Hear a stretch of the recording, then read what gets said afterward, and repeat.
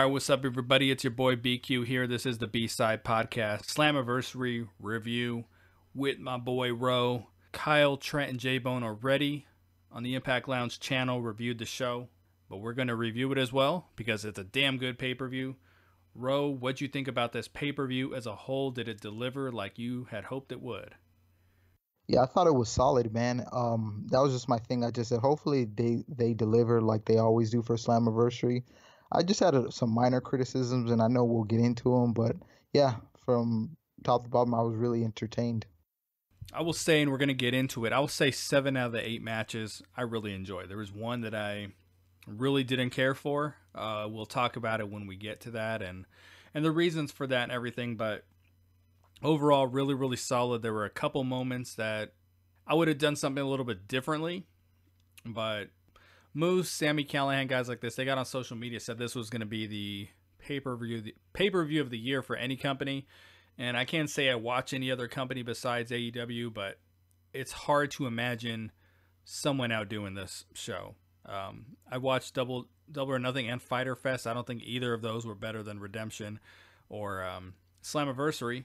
Have you watched anything else? You you watch usually you watch some of the WWE pay per views, right? Yeah, I watched the Fyter Fest, um, and I kind of just took that more as it was like their house show. And Yeah. I think the thing with AEW where it's hard to compare is they're still starting up, so you know they're probably going to get a lot of benefit. Whereas if you're comparing it to an Impact pay per view, you know most people are going to expect them to be better since they have the experience underneath their belt. But you know the one thing I'll say, and I I don't know if we want to get into it, but I thought the thing that kind of I was kind of disappointed is we didn't really get any title changes.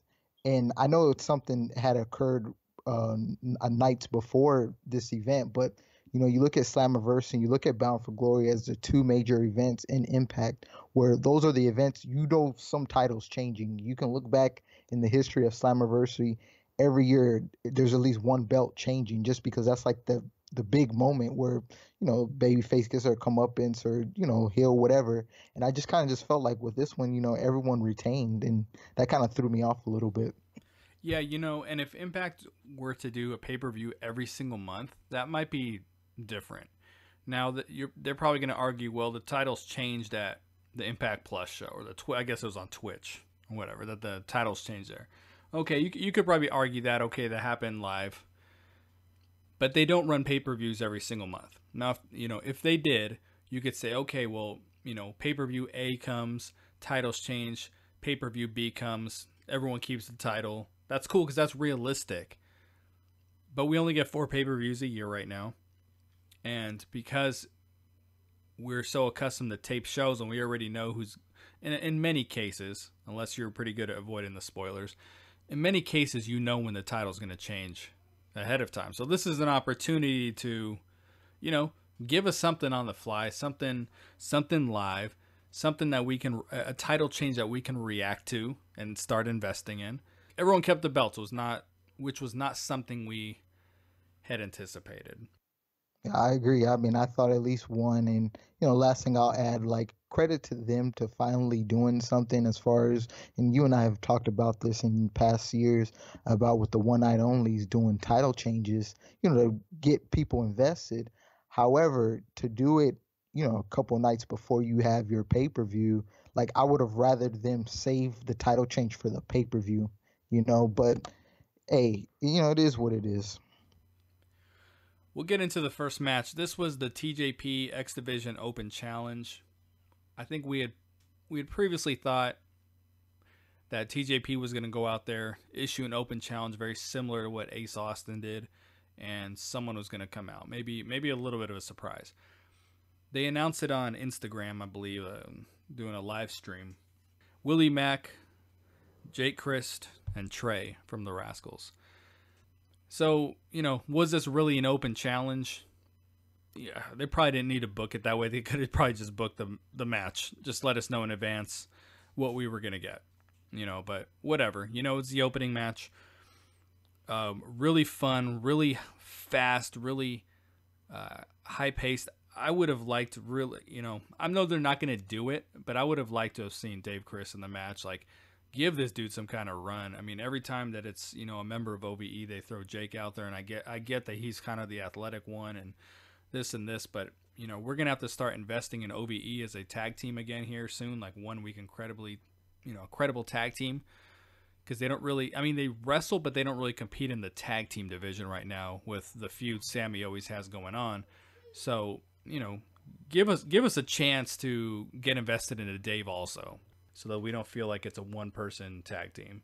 Yeah, I get you. It's strange, man, because uh, you know this stems back to Homecoming when they had the vacant uh, Ultimate X match, well, for the vacant X Division title, and we seen Jake compete, and it's like, okay, that's cool. Not only they're a tag team, you know, you got Jake who can compete in the X Division, and I thought Dave, you know, probably just can do the mid card from time to time, but you know, we see now it's really just Jake and like Dave, you know, he goes into companies and stuff, and you know, makes me wonder, you know, why they don't let him do any type of single single matches, you know, more often and whatnot. Yeah, because and if you remember Redemption in the opening match, it, w- it was Jake again. You know what I mean? So when Dave competed for the Ultimate X qualifier, I mean, he had one of the quicker matches. It's it's kind of like they they don't want to put him on TV. They you know, but give us give us a chance to, to get into him and see what he can do as well. You know? Yeah, let me ask you, just your opinion. You know, and we we're accustomed to getting these matches every pay per view. You know, in the past it was mainly like an X division exhibition, but you know, right now it's a little little blend. Do you like having these random matches with no implications? Like, are you okay with that, or do you kind of wish there was some type of purpose, whether it's a future title shot or something something else? You know, when when you start getting into multi man matches, yeah, usually I think there should be some kind of implications. I always think random multi man matches are kind of silly, like they mean nothing overall, you know? Especially because mm-hmm. there's no feud. Like, what the hell they fight? If there's no build up to the four way four way match, then what are they fighting for? So this is a really good opportunity to just hey number one contender for the X Division Championship because we you dude you and I have been talking about this forever that when it comes to number one contenders, more often than not they're they're very random or they're um you know someone just decides they want to challenge for the title and boom there it is. Like we don't we don't get anything any kind of tournaments any kind of battle royals any kind of nothing. It's just we the the number one contendership like why not build towards you know being a contender? So there's this four way match. Willie mack wins this thing. And maybe maybe this is because we talked about what the hell Swann gonna do after this because we thought Swann was gonna lose maybe maybe this actually starts a program with Willie Mack and Rich Swann going forward, but you know, why not make it a number one contenders match? No, I, I agree. And, you know, the one thing that I took away too was, you know, Willie Mack got the win, but it's like, I feel they could do, be doing so much more with Willie Mack. He seems so just kind of just thrown, you know, if they have a six man tag match, you know, he's teaming up with Swann. Like, they just have him all over the place. He's a guy that, you know, should be, you know, is capable of standing on his own and, you know, working some type of angle, you know, whether it is going for the X Division title or, you know, potentially the main event seen down the road. So, you know, that's that's just my thing is just when we get these matches, like, yeah, they're good to open up the show, but it's like, why are these guys wrestling? You know, they're just, you know, trying to kill themselves just for the sake of killing themselves, or is there something on the line, you know, a future title shot or something of like that? But I mean, it's fun. It's it's fun to open up the pay per views like this. They've been doing it forever, but you know, put put something on the line. You got the Rascalz who are challenging for the titles, and then you got this guy. You know, Trey. He's the odd man out. Like, actually, at least made him look make him look like he's competing for something. But you know, that being said, I thought the match absolutely freaking killed it. I mean, they did some really great spots here. They, I mean, I was worried that they weren't going to be able to follow up or be able to follow up after this. I mean, this match was so crazy, bodies fa- flying all over the place. Did you expect Willie Mack to pull this out? I mean, did I, I really felt like even once we knew who the competitors were, that TJ, uh, T, I was gonna say TJ Maxx. I, I keep doing that. Um, I thought TJP was gonna win. And that's who I thought originally, and I just because when I you know seen him because I forgot the how th- this match had even got set up. and I seen him. I'm like, oh god, like I hope they're not gonna give this guy a win. Like that's so typical. You know, well, I hate to say TNA, but you know, TNA would do that. And I think when I knew Mac was gonna win is the moment when Crist hit the Chris Cutter, and you know, I, I was like, watch, he's gonna hit the frog splash the moment he tries to get up. And it's good that Mac got the win, but it's just like now, is there a way for them to build off of this to kind of give him some sort of direction or in a couple weeks are we going to see him in some random tag with Swann and dreamer facing ove it was good to see trey get some some singles running here and he's very similar to jake crist in the sense that that he's very rarely I mean, it's it's similar. It's not the same situation, but he's very rarely involved in the Rascalz when it's a tag team, when it's a two man team. Um, and he's he's usually that singles guy. I used to say this back in the day watching the uh, the New Day. You know, they always say, "Oh, you never know which two are going to fight," but it's the same two fighting every single time. And I, I, I get that with the Rascalz too. It's like it's almost like they deliver like they have some kind of three man advantage, but it's it's the same two dudes always wrestling, and then Trey always does the the singles competition matches. I felt like you might as well have made this a six man match. You know, might as well throw Ace Austin in there and and whoever else, but overall, uh, really great match. Willie Mack gets the win. Next match on the card, so we got a, a title match pretty early. This is going to be the North defending against LAX and the Rascalz. Now, the first thing I thought when this was happening, because last year's Slammiversary, we had the opening match. I forgot what it was, but it was really good. And then after that, I think was the Eli Drake Open Challenge. I think that was match number two. Ellsworth came out, and then after that was the the match where Tommy Dreamer came out to team with Eddie, and it it deflated me, dude. Uh, you know, I talked about this a lot.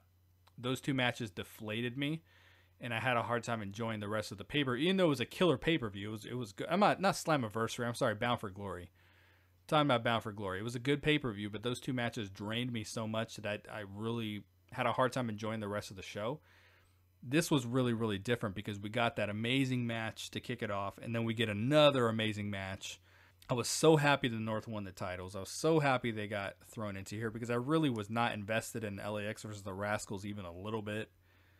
I, I just wasn't. Um, no no offense to anyone involved. I just wasn't personally. But i'm a bigger fan of the north than i am both of those teams so um, was really excited and Josh Alexander, someone asked me the other day who my favorite wrestler was, and I said it was Moose right now, man. Josh Alexander's up there, dude. Like, I really freaking like this dude. I like everything about him.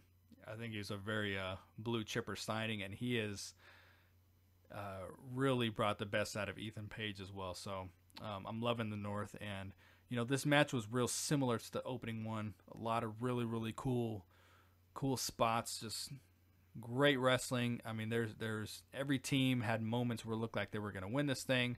What do you got on the uh, tag team title match? You know, I think it seemed like it ended abruptly due to the injury of Santana. But yeah, everyone got their moment to shine. Um, I'm a fan of the North too. I kind of hate how they started out where they had them lose early on. I always kind of believe when you have uh, trying to debut anybody, you know, you don't want them taking losses early. And I've always thought with LAX, LAX needed a, a main antagonist. They had it for a moment with OVE, and then OVE, you know, ended up becoming what they became. And I thought with the North, like that's the one team that I could buy into dethroning them as as champions. And so now that they've done that, like I'm happy with it. But yeah, um, I like this. My favorite spot in this match was when uh, Alexander did that. I think is a it's a fall away, but he did it from the turnbuckle off the turnbuckle, and it was like a moonsault. And then Ethan Page did the swanton. Like they got great chemistry, and um, you know I'm glad that they retained because uh, one of my fears was they did the title change to kind of sell the pay per view and to make this a triple threat match. And a part of me thought they were going to put the titles back on LAX and I'm glad they didn't, and I'm, I'm glad they stayed the course and the North retained. I'm glad they did too. Um, the North has a lot of really great tandem moves, and that's why I like them so much. Santana got hurt in this match. I think I think it was a legit injury. Um, it's possible that it wasn't, and they just did a really good job of acting, and they were just trying to write LAX out of the company.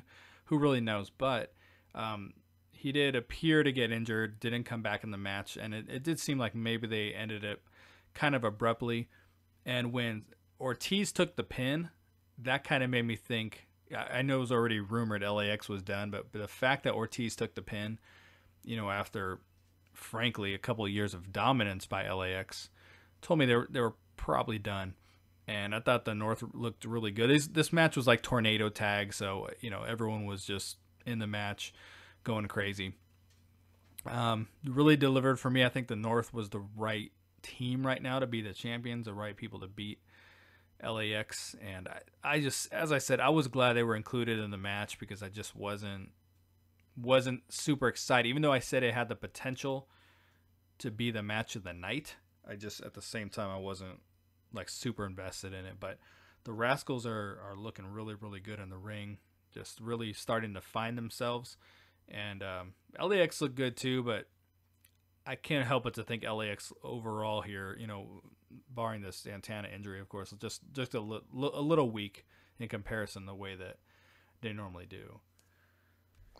Yeah, you know, but it's one of these things, and I mean, I know there's rumors about LAX's potential departure, but regardless of that, I think this is the time now. You know, the North is at the top of the tag division since they're champions you know, hopefully they take this opportunity to build some of these other teams up so we don't fall into the same trap that we did with LAX where they're running through everyone. It like I'm guessing right now I'm gonna assume we're probably gonna get the North and the Rascalz mixing it up. You know, drag that out a little bit and in the meanwhile try to build someone else up so then once that's done, you know, you can move on. Yeah, I would imagine they're going to work in a program together too. And LAX got bland to me. They they just really did. I mean, we know this is one of the best tag teams in the world, but you and I talk about this on the podcast, on the on offline. We we have been saying for a while how you know they just keep running through everybody, and it's like, what else can they do?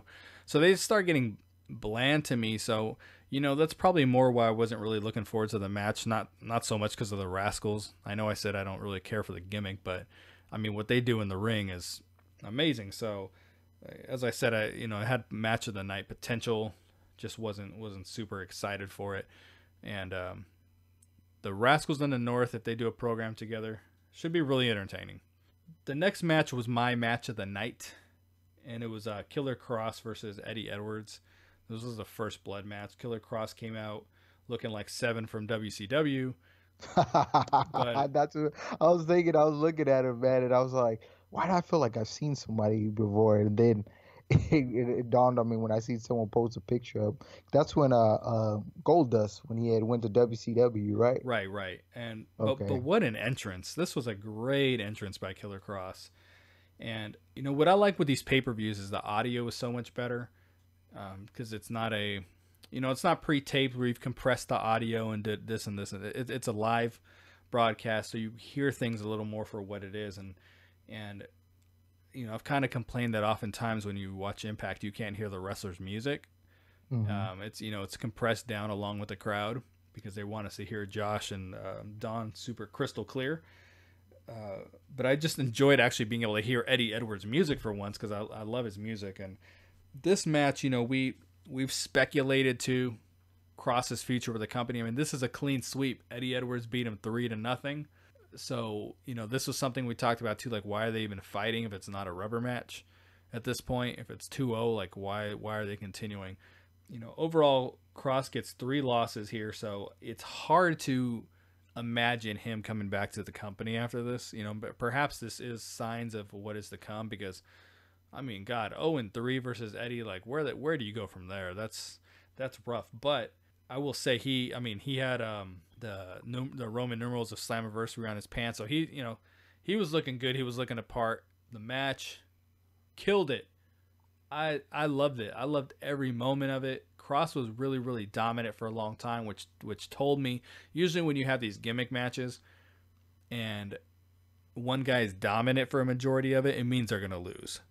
You know, it's like when you have a last man standing with a big dude versus a little dude. You know, the big dude wins for 99% of the match. You know, the little dude is going to obviously win. And uh, that that's what I don't like about a lot of these type of matches. You know, they kind of give away the winner by the way the uh, everything's going on. But just like the first couple matches, These guys put their bodies on the line, did a lot of shit that really looked like it hurt.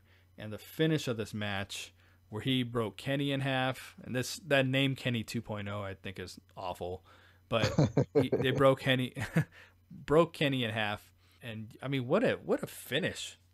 I you know I was saying like I'm I'm ready for a good Eddie match. Like I feel like in the last two three years, ever since Slammiversary where he teamed up with Alicia, like we don't get any good Eddie Edwards matches at the pay per views for one reason or another.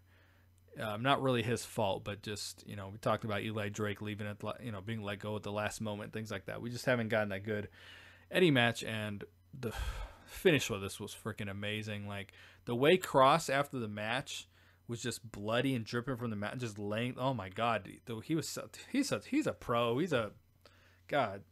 Talk to me about this match. Yeah, walking into this like that, that anytime I see a first blood match, I'm always interested to see what's the way of the finish. Because you know often you see it's a chair shot or um, you know something with an object. And obviously this was no different but the fact that he was actually stabbing Kross i thought was pretty brutal. You know for as great as this was, I think what took me out of this, and you know, this is something we've mentioned before. I think when we know sometimes, or we're having a match where we know one of the participants can be potentially leaving, like it takes me out because I don't expect them to have a chance to win. And just for this, the the way that they close out, and like you just mentioned, the sweep, like it was inevitable that Eddie was going to win. But with that said, I, I like the creativity that they did as far as the way of making Kross bleed because that was my first thing. I'm like, how's he going to bust him open? You know, like Kross was this dominant force compared to Eddie, and um, they made it work. So kudos to them. So the match we get after this is um this this was the one match of the night that I I wasn't into it, dude. Um, Moose versus RVD. Moose, um, I liked his entrance a lot. Moose as I've always said, over delivers at the pay per views. He always has. And I thought he put on a really good showing here, but you know, the match was really one sided for the most part. RVD cut a promo beforehand where I mean, I, I don't I don't mean to I know it's kind of a running joke with RVD, but I mean I think he was high for the promo. He didn't really seem like he was engaged with what the storyline was or what the match was even about. I mean, he just it, it was super standard. I wasn't excited for. It. Like he didn't get me jazzed up for the match. You know, he was getting his ass kicked for, for most of the match. Looked like damn near looked like Jeff Hardy out there uh, when he wrestled Sting. Forgot the pay per view what it, what it was. Uh, Victory Road. Victory, Road. Road. I mean, I know that's being a little dramatic, but I mean, he just he didn't look like he was on his he wasn't crisp. Like he wasn't on his game out there. Like he was just just getting his ass kicked. And then, you know, when he was doing his his spots, like you know, I've I've never really, even though I appreciate what they bring to the table, I've never really enjoyed wrestlers like RVD, um, Rey Mysterio, guys who just like they have that move set that you just get every single match, and it's it's it's like you've seen this before. You know what I mean? Like it's they're not bringing a whole lot new to the table. So you have three matches up to this point where they're bringing a lot new to the table.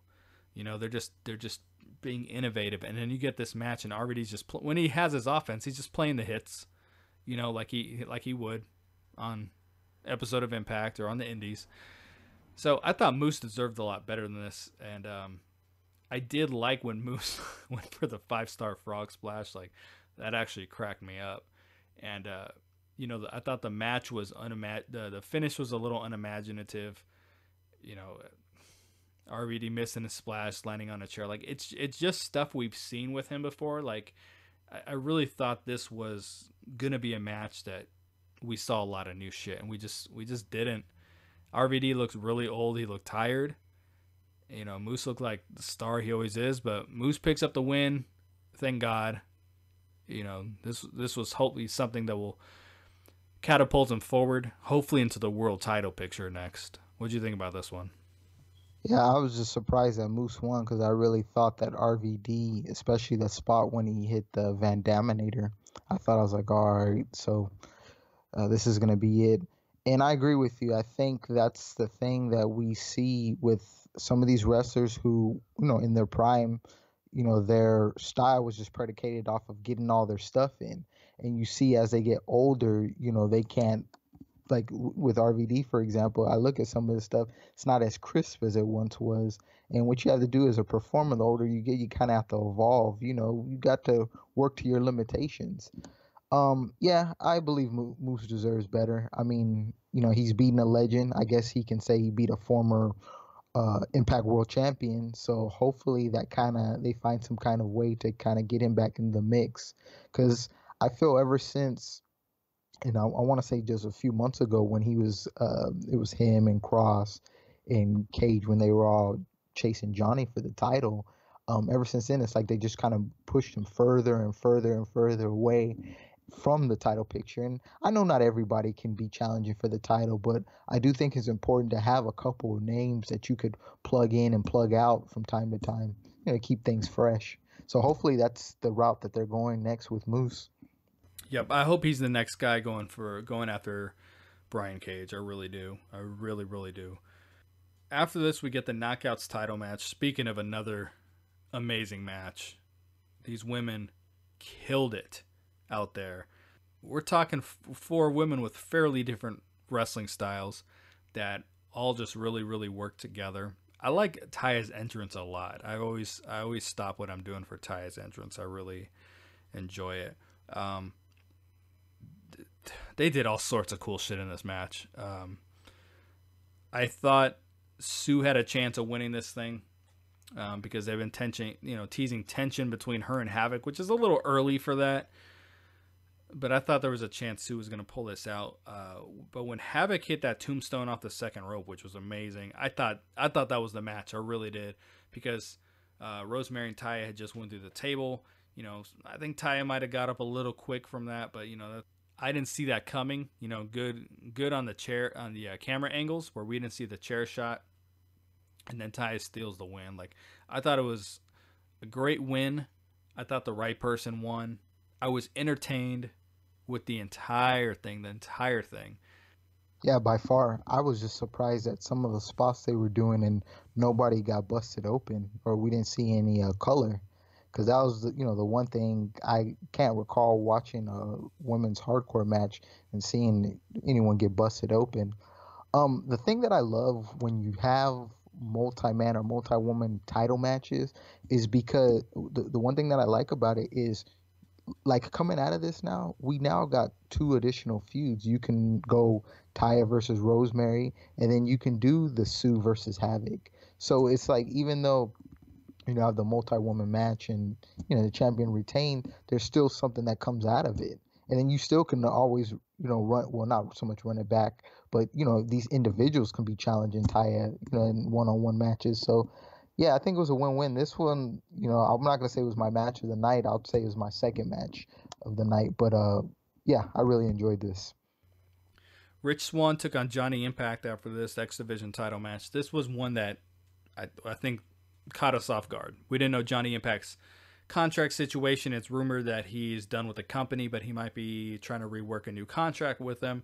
But this was one where we really thought Johnny was going to win, do something, you know, put a the X Division title on a main eventer and maybe trying to get to the next level a little bit, keep Johnny Impact in the X Division for a little while, and just kind of having a different style of match than we're you know accustomed because since he's been in the company, we you know it was a lot of versus Eli Drake, a lot of versus. Uh, uh, Brian Cage, you know what I mean? Like he, he, we they they haven't really diversified his opponents very well, you know.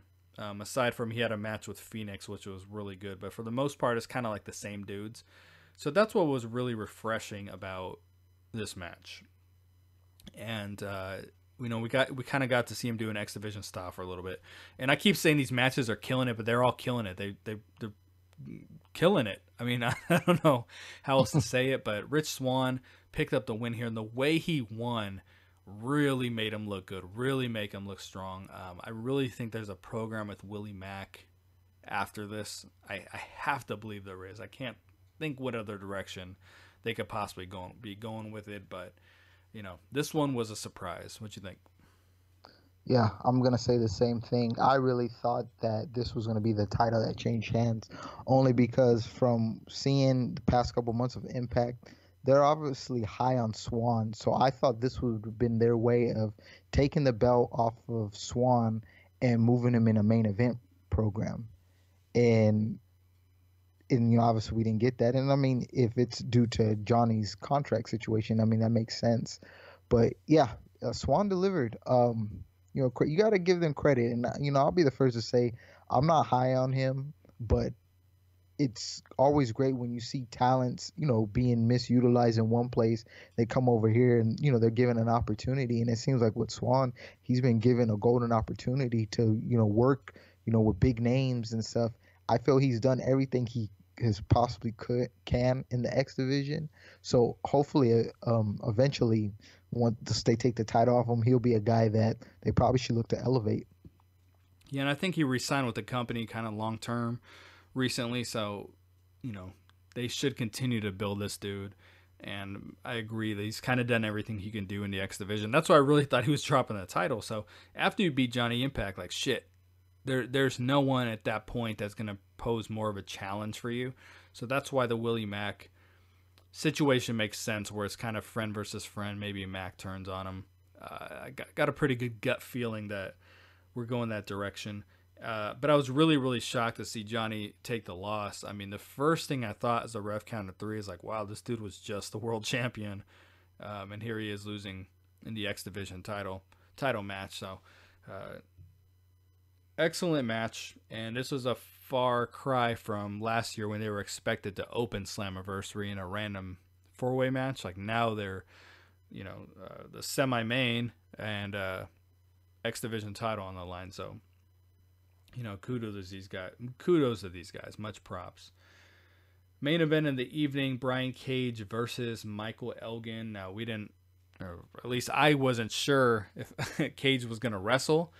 You know, I was uh, I read in one place that he wasn't going to, and then I had someone else telling me that he he wasn't going to, but then I heard someone tell me he was going to, and I think there was some truth to that. That he, I think they were prepared for him not to wrestle and to give him a surprise opponent. And this this is what I truly think happened. I think they were prepared for him not to be able to compete. And if that was the case, they were going to going to need to give Michael Elgin a new opponent. It was going to be a surprise opponent. Brian Cage turns out he could wrestle, he could go. And then we get Rhino later in the match. So I think Rhino was the was going to be the opponent for Cage for Elgin if necessary. But he came out, and the reason I say that is because his involvement in the match was was very random. And the good thing about it is that it it actually takes Elgin out of the title picture for a bit because now he can spin off and do another feud. But this match, I have not seen a heavyweight title match like this that I can recall. The effort that they were putting into this, like th- this was this was like Haas versus Haas, like two big dudes going at it, being heavyweights, but then showing what else they can do. Also, the freaking reversal of the F5 into the Canadian destroyer, like, holy shit, man. Bananas. Freaking bonkers. This was one of the best main events Impact's had in a while. But I'm going to say, man, they have been delivering in the main event every year. You know, the last one that was a stinker was Eli Drake versus Johnny Impact where Alberto came out. After that, these main events, you know, you had the Moose versus Aries one, which no one wanted to see, and then it ended up being amazing. Uh, Aries versus Johnny Impact was amazing. Um, Johnny Impact versus Cage, like they they keep coming with these badass main events, and this one here was crazy. What do you got? Yeah, this was my match of the night, and it was just surprising because this was the one I was kind of worried just for the simple fact of Cage's health. I didn't know if he'd be limited. Yeah, um, you know where I was disappointed. I thought this should have been the main event. I think the world title should always close out the show, and I know we'll get to the main event after this. But I love this, and I, you know, I think I had told you earlier. I think the one thing that Impact's missing is it's been a while since we've had a series, a good long drawn out series. Like I feel like with these two two you can have a trilogy, you know, you know, do a best of a three, five, or whatever, some type of series because they got great chemistry. And the fact that finally there's somebody who can stand toe to toe with Brian Cage and is a legitimate threat and Michael Elgin, I think that goes a long way because that's the thing with Brian Cage. The way he's built, you think about some of the people he faces, like when he faces Johnny, he's supposed to tear through Johnny. You know, but with a guy like Elgin, like Elgin can stand stand on his own and yeah, they delivered. And I was annoyed with the Rhino interference only because I don't think they should waste Elgin feuding with Rhino. I think they the way that this match ended, it left the door for them to do a rematch. And I think having him feud with Rhino would be a waste of Elgin. If anything, I expected Rhino to interfere in Moose versus RVD, to be quite honest. But I'm just hoping that the Rhino stuff, because obviously he's still under contract in the other company, but hopefully they you know continue with the Elgin versus Cage because I think they could have something very special should they go down that road. Yeah, but I don't think they are, and I want to apologize. I called Swann versus Impact the semi-main because I knew the world title was after this, but I, I completely forgot Sami and Tessa were the the main event. But I I think they're gonna spin off uh, Michael Elgin into a program with Rhino here. Um, but we don't really know Rhino's situation. I mean, it was obviously him. So um, I enjoyed what they were doing with Don at first, and I really thought we were going to get like a really surprise run in. And I just thought it was really lackluster because, you know, I go back to Double or Nothing where Moxley came out, you know, uh, Awesome Kong came out, you know what I mean? And then our surprises are Rhino, you know, uh, Tommy Dreamer, RVD. Like, I mean, God, it's just no comparison, man. And that's I, it's it's a I, I I can't get into it, man. Obviously, he's going to be a part of the company for a little while, and uh, we'll see what happens. But I, I I don't I can't I don't think I can get into it.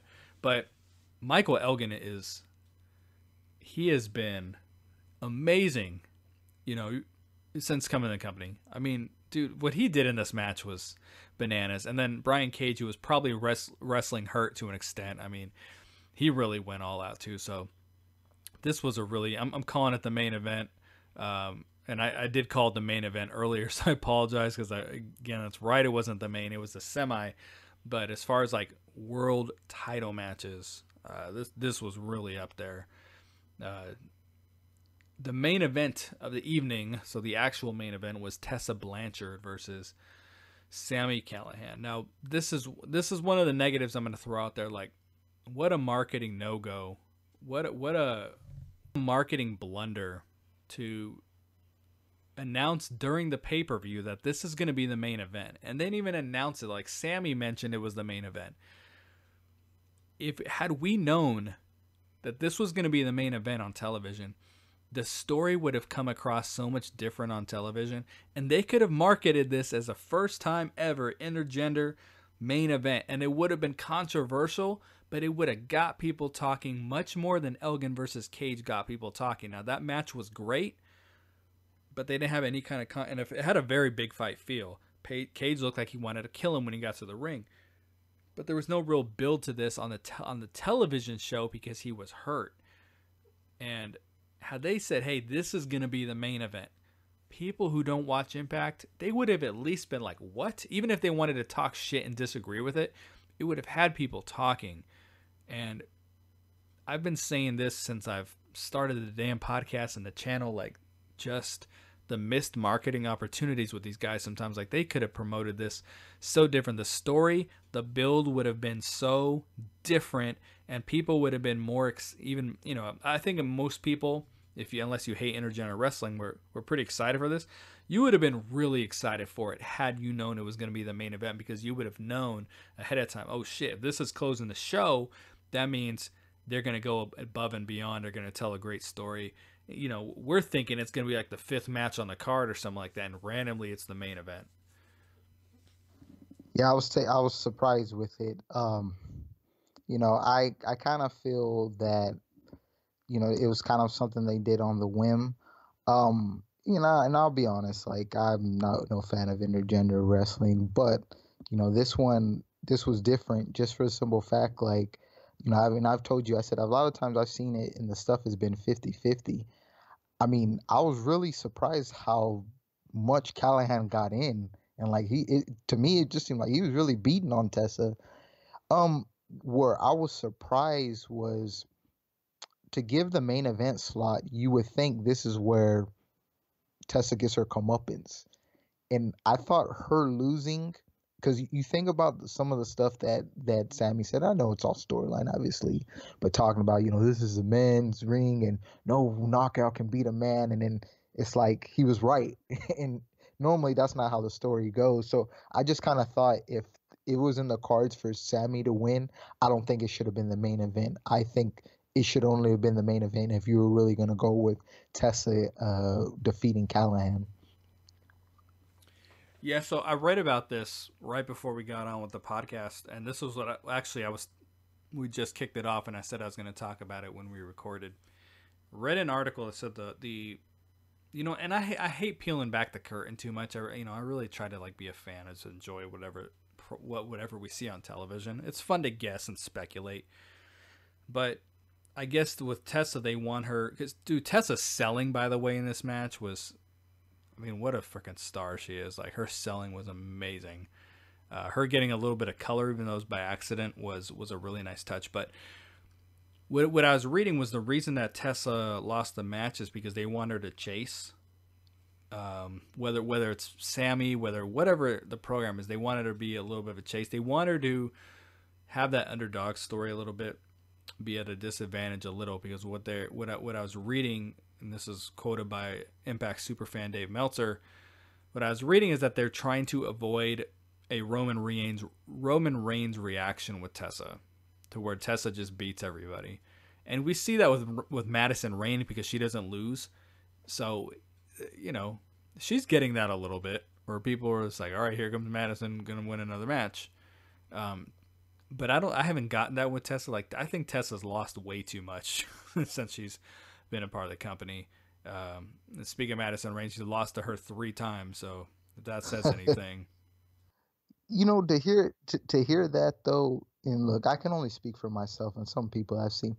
I don't think Tessa would warrant that. I think it's just you got people who aren't fans of intergender intergender um, wrestling wondering well, why she dipping over here. She hasn't even dominated the knockouts division. Like, you know, the one the one thing that that we notice a lot and i understand like you don't want the same people challenging over and over but it seems like when people lose their belts oh that's it they move on like tessa's only held the held the belt one time like I think if had she dominated a knockouts division where there's nothing more that she can do and she were to move on, I could understand it a little bit more. I don't think there's there they should be worried about a Roman Reigns backlash. I think that'll happen if you have her continuing to beat up guys on the roster. But if you have her in the knockouts division dominating, I don't think that's gonna be that'll that'll be an issue. I will say this: it seems like they wanted to give Sami a win because you know I've said it like nothing against the performer, but he's booked to be a loser. You know, he comes out, you know, gets you invested in these programs and then ends up losing the big matches. So I guess this considered as a big win, but you know, where do you go with both these participants now? And I think that's something that we were, you know, thinking about leading in. Like, if Tessa wins, what is she gonna, you know, go for the X Division title? Is she gonna go for the world title? I mean, now does she go back to the knockouts? I mean, knockouts division, and then for Sami, you know, how is she gonna get a world title shot for beating a knockout? Like, I think that's just the weird, the weird thing in it all. But yeah, I seen that article that you pointed out, like I don't think she's gonna get the the Roman Reigns treatment. I just think there you got some people who don't want to see her beat up all the males when she hasn't dominated the knockouts division. Right, because she's had girls in the knockouts division that she hasn't she hasn't beaten Madison Rayne ever. Um, you know, she's lost to, and I think she's beat her also, but she's lost to uh, Jordynne Grace. She's lost a couple times at Taya, so she's she's lost a lot. So I, I don't think there's ever going to be that kind of backlash. But I have the concern you know, it's rumored that Tessa's contract runs throughout the rest of the year, like just like Taya's does. I, I have a concern that they're going to invest all this in her and then she's going to leave in a year. I think it's really possible that she goes to AEW and, you know, when her contract is up, I think it's possible. I think it's likely, you know, um, not so much because it's the, I'm going to say it's a bigger company, uh, but maybe I'll piss some people off, but um, I'm not going to say it's so much because of that, but I think Tessa wants as much variance in her competition as possible. I think she wants to dominate here, dominate there, dominate everywhere. Like I think she, you know, I wouldn't be surprised if she gets a Ring of Honor run at some point. Like I think she just wants to beat everybody everywhere. So, uh, you know, that does concern me a little bit that they're going to build up towards something like maybe her even winning a world title, um, and then and then only to lose her. You know, so it's it's one of those things though. We we've seen this, like, and I I remember mentioning it. I said, you know, Impact at this point, it's it's a two year, two to three year company.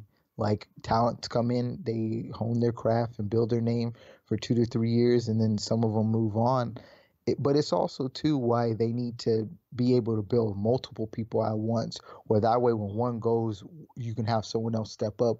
I think far too often the two th- mistakes that I see see them make, just like previous regimes, is they put all their eggs in one basket, and every time somebody new comes in, they cut in front of the line. Like I feel like some of the departures, and I, I, I say this with Kross for example. Like I honestly think if you know, if they didn't have the ECW guys that came in while he was still kind of getting his push and he was still kind of being used how he was used, I don't think we'd be hearing talks about him being released. I know there's a financial aspect of it all, but I just think every time someone new comes in, they're pushed to the front of the line. It's never they start from the bottom and work their way up. And then, you know, they these people get pushed, they build their name and then they end up departing. So I just kind of just think if you know, with Tessa or anybody, you know, you got to know, hey, look, we have them. Let's utilize them while we have them, but let's be able to build other people too. So in case they leave, like we're gonna be okay. Yeah, that's like you know, I thought that was gonna happen with Kross. I thought it was gonna be a build up until, you know, we we get this like big Brian Cage versus Kross match, but then we started getting Kross mixed with Brian Cage like really really early, and you know they kind of kind of pushed him fast and he was someone I thought was going to get a really really nice slow burn, just just dominating people for a while. So I agree. You know, we bring someone new in, um, and they come to the front of the line, and it's it, you know they're actually using that as a storyline with Michael Elgin, uh, which had never made it you know that obvious before. But you're right. They come in, they they move to the front of the line, and this is something that the company's been doing for a long time. But I liked the end of this where you know, because it's it's rare that you get a heel winning a pay per view and ending the night. It, it's it's very rare. You know, um, Lashley closed out a couple pay per views. You know, against EC3 and Galloway. EC3 com- challenger for the twenty four seven title. You know, um, you know, but, but it's it's rare you get someone to, to, close out the show, especially Sami, who's all in and being a heel. Like he's not getting no babyface pops out there like some guys get. Uh, so I thought it was a really nice ending the way he gave her the bat, you know, out of respect, and then walked away. And I mean, they, they nailed that. I thought that was that was really perfect. But um, yeah, overall, this this pay per view gets an A. I you know I have very little to complain about it, um, aside from Rhino, um, aside from not announcing that that was the main event previously. You know, and if you're, if you're making history, like make it a headline. And you know, obviously RVD's performance didn't really do it for me, but uh, everything else really killed it. Great pay per view. Bound for Glory will be in Illinois, so I will be there for show. Uh, it's going to be in the outskirts of Chicago, so I will definitely be there already talking about a lot of people, talking with a lot of people that um, expect to be there as well. So, do you got any closing comments? Oh, speaking of going to shows, I might, um, hopefully, if the schedule permits, Impact's coming to Southern Cali, so I might actually be able to catch a show. My first show in the past ten years. when is that? So I, I didn't see. Uh, August third. It's in it was in Los Angeles though, so I mean it's not super close. It was an hour away, but I'll digress, you know. But um, I'm kind of hoping that I can free myself up because, you know, that the last show I went to, I've always tell you, it's a 2009. It was a house show, and you know, I I've, I've always said, well, if they come out here, you know, I want to catch one. And a lot of times they go up north, which is like, you know, five six hour drive, but I can do an hour so. But no, as far as a pay per view, yeah, like I said, I thought it was solid. I um I actually had told my friend about it. I I really think and, and I hope it kind of gets the recognition that it deserves.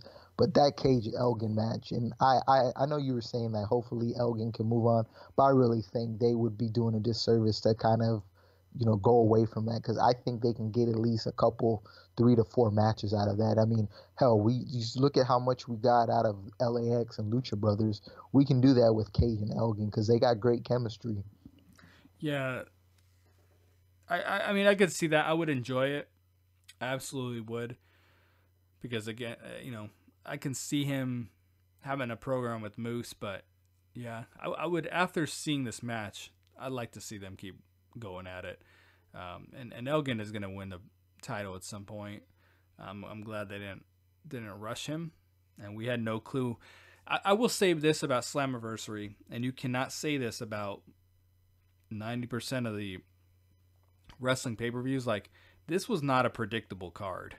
You know, there, there was a lot of matches on here where you had no idea who the hell was going to win. It, it was not predictable. Uh, we had no clue for the most part for Cage and Elgin what they were going to do with that. And, uh, you know, that's props to them for this. Uh, you know, even as, us hardcore fans, we didn't know what to expect who was going to win. So give them a lot of love for it. Yeah, you got got to appreciate that because that that was the one match, man. I was like, okay, I know they don't want they're not going to let Elgin lose his first pay per view match, but this is Cage's first title defense, and I I thought that was a creative way they took the old Bret Hart Bulldog finish. So that's what I just feel like that opens the door for them to do a rematch, you know, and just the fact that to see Cage, you know, we've seen Cage be so dominant, and see him kind of just, you know, met, meet his match, I just really thought that was exciting. But yeah, they delivered, man. Kudos to them. Thanks for checking us out, guys. Hope you enjoyed our review, our takes of Slammiversary. Let us know what you thought of the show. And for Roe, this is BQ, and we'll you, talk to you next time. Peace.